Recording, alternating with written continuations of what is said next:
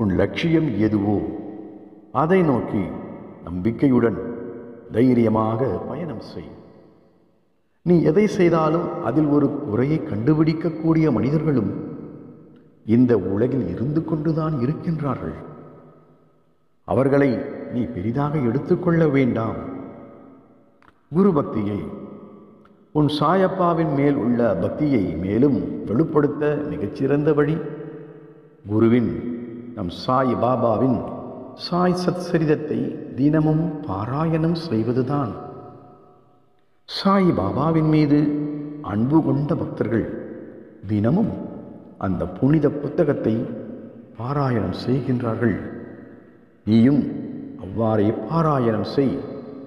அப்போது நீ செய்த புண்ணியத்தாலும் தர்மத்தாலும் நாம் எங்கே இருந்தாலும் சரி எந்த இடத்தில் இருந்தாலும் சரி இக்கட்டான சூழ்நிலையிலும் இருந்தாலும் சரி. ஏதோ ஒரு ரூபத்தில் சாய் பாபா வந்து கட்டாயம் காப்பாற்றுவார் கலக்கம் வேண்டாம். கை கொடுத்து உன்னை வாழ்க்கையில் உயர்த்துவார்.